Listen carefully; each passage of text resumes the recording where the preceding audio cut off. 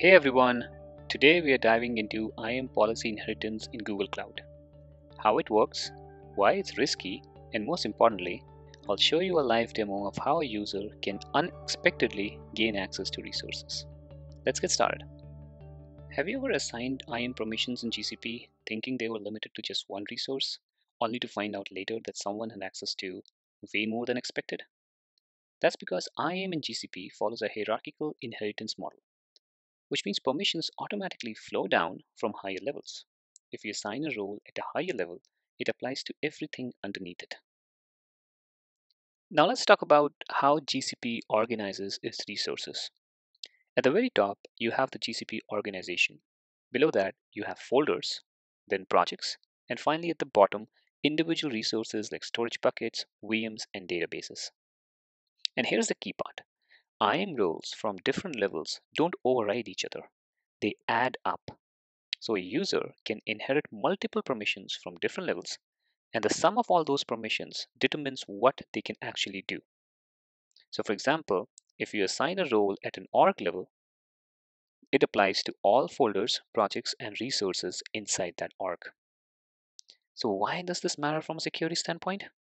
The number one reason why IAM inheritance in GCP is a security concern is because it makes it far too easy for developers to accidentally assign permissions to way more resources than intended. Applying a role at a higher level automatically grants access to everything underneath it. That means a simple misconfiguration could violate the principle of least privilege, exposing sensitive resources that were never meant to be accessible. And this is where privilege escalation becomes a risk. If an attacker compromises a high-level IAM role, they instantly gain control over everything below it. This could lead to major security incidents.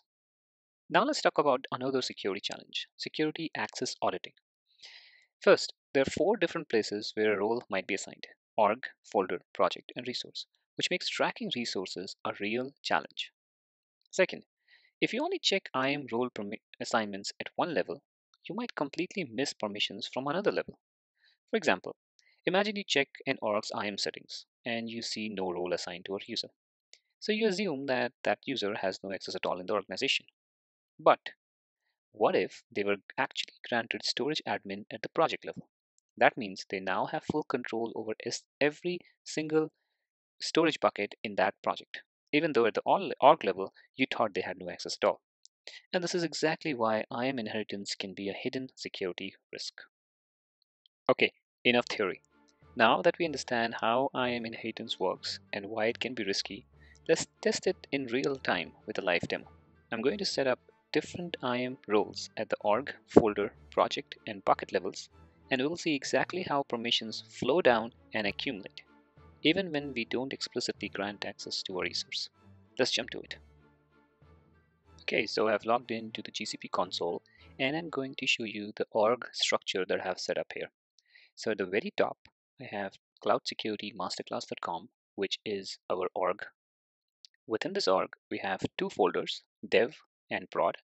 And within these two folders, we have three projects, dev1 in dev, prod1 and prod2 in prod.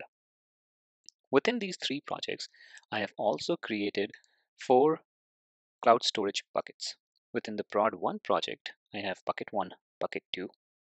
Within the prod2 project, I have prod2 bucket. And within the dev project, I have one dev, dev bucket. So that's the org structure. For the first demonstration, I will be granting permissions at the resource level, which is the bucket level for this demo, and we will see how GCP works for that. So in order to test that, I have created this user called user with bucket perm and currently it does not have any access to any of those four buckets. To test that, I have a script which is uh, basically just doing a gcloud uh, uh, storage ls on these four buckets and accordingly sending a message of access denied or access granted depending on the access levels. So I've logged into a different terminal this is the admin account and I'm going to use this terminal to add the policy bindings or the role to the resources right and in this case the resource is the bucket prod1 bucket1 now this is the same command uh, the add IAM policy binding command that will be used at different levels. But for this one, we're doing it at the bucket level. So this command went to success and let me switch back to my user with bucket perm and test uh, what access that uh, user now has after I've run this binding command. So as you can see, the the permissions were only granted to prod1 bucket1 which was the resource for which we created the role binding. No other bucket in the project or folder or org was affected by this um, action. And that's why providing permissions at the resource level is the most secure and the most restrictive type of policy binding that you can create in GCP. So I'm going to show you how this looks like from the GCP console. I'm in the cloud storage section and if I click on the prod one bucket one for which we created the IAM binding, in the permissions I can see that storage admin role has been granted to user with bucket perm as intended as we did from the command line. So this is as expected. But when I check at the org level, right, I don't see any mention of this user at all. Um, and similarly, when I check at the project level, I don't see any mention of this user there as well. So this is a hidden security risk within GCP that when you do assign permissions at these lower levels, they don't show up at the higher levels. So if you are a security auditor reviewing this um, GCP project, you will have to check permissions at all the levels to confirm what access the user actually has. All right, let's move on to the second demonstration where we will be adding permissions at the project level. So I have created a new user called user projperm. And again, as confirmed by the script, this user does not have any access at all. So I'm going to switch to my admin uh, terminal. And from there, I'm going to run the add IAM policy binding command. This time, notice that this is at a project level and I've provided the ID of the project and um, the user for which I'm going to apply this binding. So this went to success. Let me switch back to the, the user now and confirm what access was granted by that IAM policy binding. As you can see, the binding that was done actually gave access to two buckets this time, the prod1 bucket 1 and prod1 bucket 2. Both of these are within the prod1 project. Let's see how this looks like from the console. So I'm in the IAM section within prod1 project and I could see the user projperm added here with the storage admin role. This is expected because this is the same level where we created the IAM policy binding command. But what do we see at the bucket level? So in the bucket permissions, we could also see the user added here and uh, there is a small icon next to it which shows that this is inherited from the project. So when you assign permissions at a high level, they do show up at the lower level in the console.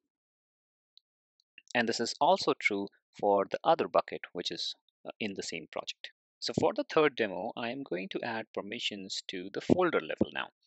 And again, as before, I have created this user, user folder perm. And uh, currently, this user does not have any permissions for any of those four uh, cloud storage buckets. So I'm going to switch to the admin terminal and I'm going to create a binding command for this user. Now notice that this time the binding command is at the folder level.